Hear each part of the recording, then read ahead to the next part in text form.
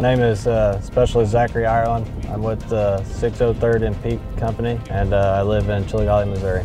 I joined the Army to get out of a small town for a while because I was kind of tired of working on the farm my whole life. I run a 8,000 hog head operation, and uh, they're weaned pigs.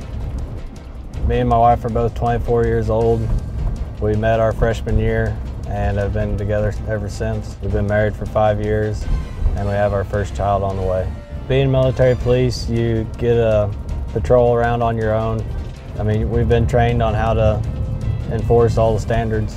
I went from active duty, from being stationed in Fort Bliss, Texas, to the reserves um, because I was tired of being away from home.